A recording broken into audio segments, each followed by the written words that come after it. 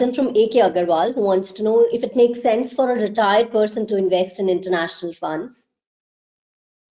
Yes, in fact, it makes more sense because uh, somebody who's retired, they should be investing in equity. And if you are, if you should be investing in equity, you should be investing in international fund as well. Uh, simply because they are the only uh, promise for you to be able to beat inflation. Because if you invest uh, in fixed income only, you lose that opportunity and you you you just might get uh, safe return. But the ability of your money to protect its worth uh, diminishes. So if you should be investing in equity for the same reason you should be investing in international funds as well